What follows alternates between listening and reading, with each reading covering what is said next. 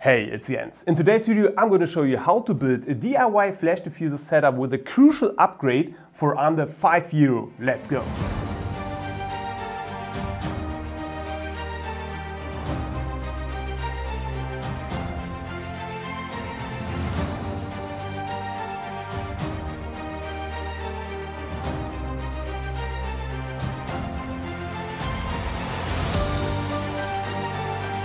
The only thing you need for this flash flash diffuser setup is actually one or two folders made of plastic or any a little thicker sheet of plastic. If you don't have a white one, that's actually no problem. You can just glue some white paper to it and then use this for your diffuser. There are ready to use flash diffuser setups on the internet like this one, which costs over 100 euro. Those work really good, but is it worth spending 100 euro when you can do it by yourself? The diffuser setup I'm using consists of three parts.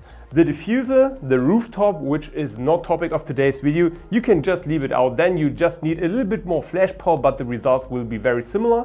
And the upgrade part on the bottom. The first part is just a cone like this.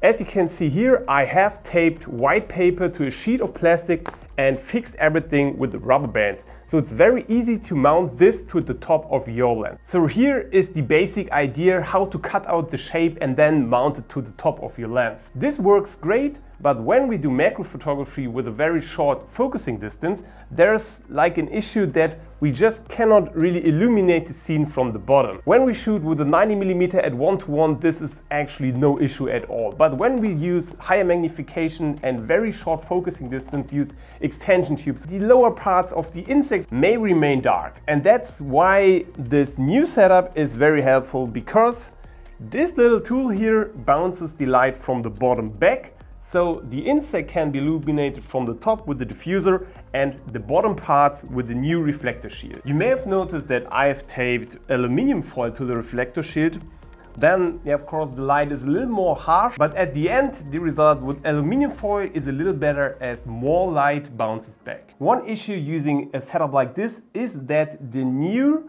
reflector shield may touch leaves or branches where the insect is sitting on and ruins the whole scene. So I have also covered this with rubber bands so it is very flexible. I can pull it down and I can also adjust the position. Okay, now let's see how the new reflector is actually built. So I'm just dismounting the rooftop and here we have the Pope shield which can be replaced by the DIY version we've just seen and also the Raynox and here we have the new reflector. It is mounted with rubber bands and yeah, it can be pulled down. It can be easily adjusted by moving the rubber band along the lens. And now let's have a look on the shape. Basically, it's just a sheet of plastic with aluminium foil. We need this half circle, which then is attached to the lens. Stamp two holes for the rubber bands and just cut out a shape like this on a standard A4 paper. Now we just have to put the lens through the rubber bands and we use the surface for the fusion from the bottom. I hope you think that this video was helpful. Adding this sheet of plastic to your diffusion setup can really make a difference. If you want to see more macro photography related content, don't forget to subscribe for weekly updates and like the video. Any questions, leave a comment below and I'm going to help you with your diffuser setup. Thanks for watching, have a good day and hopefully see you in the next.